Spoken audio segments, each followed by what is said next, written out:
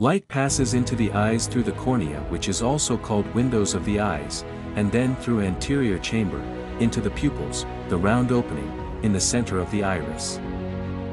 The iris, which are a flat, colored, ring-shaped membrane behind the cornea of the eyes, may dilate, or constrict to determine how much light gets to the lens. Then, the lens moves light through the clear cavity called the vitreous and focuses it on the retina.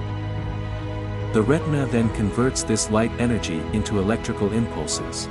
And passes it through the optic nerve also called the second cranial nerve.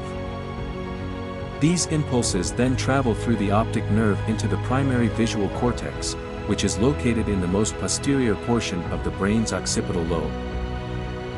While it may sound like a lengthy process, but takes only about 13 milliseconds.